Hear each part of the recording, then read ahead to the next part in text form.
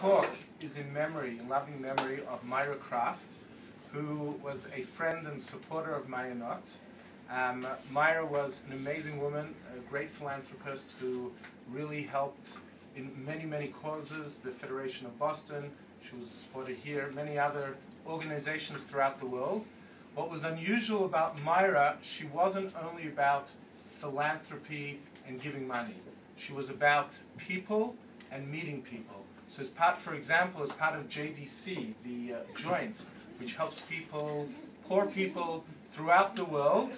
I see a young lady who's coming. I'm doing the Jewish service for next year. Oh, wonderful, wonderful. That's great. In Haiti, great.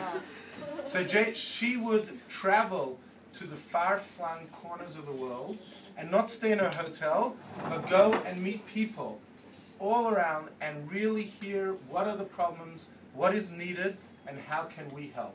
And that's simply because she truly cared. She really cared about people.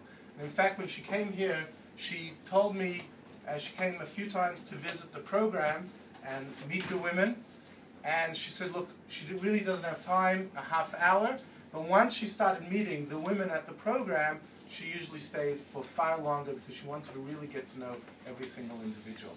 So uh, tonight's talk is, tonight is the Yahrzeit, the day of her passing, and it's a special day when we want to learn Torah in memory, L'ilui Nishmat Shulamit Bat Yaakov, the Hebrew name Shulamit Bat Yaakov, and the Torah that you learn should be a pleasure, a nachas for her soul, and she should continue to give blessings for her family and for all those who she has helped.